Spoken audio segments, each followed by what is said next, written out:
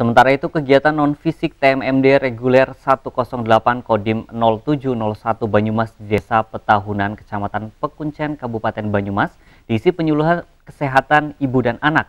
Dihadiri sebagai narasumber Dr. Maili dari RSUD Aji Barang. Kesehatan Ibu dan Anak KIA menjadi materi penyuluhan kesehatan yang menjadi salah satu kegiatan non-fisik TMMD reguler 108 Kodim 0701 Banyumas.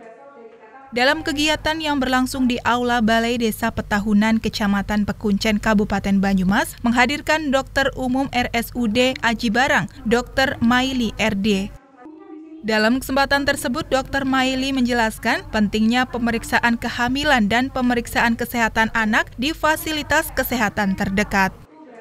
Dengan mengontrol kesehatan ibu hamil dan balita maupun anak, diharapkan dapat mencegah risiko kematian ibu dan anak baru lahir, serta mencegah anak-anak petahuan terkena stunting atau kondisi kegagalan pertumbuhan anak baik pada tubuh maupun otak memberi edukasi kepada masyarakat tentang pentingnya pemeriksaan kehamilan dan apa saja sih uh, pemeriksaan yang dilakukan pada ibu hamil.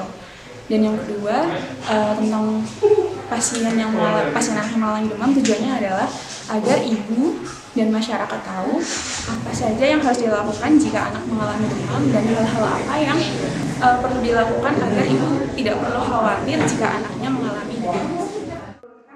Dari Banyumas, Tim Liputan Rati TV memberitakan.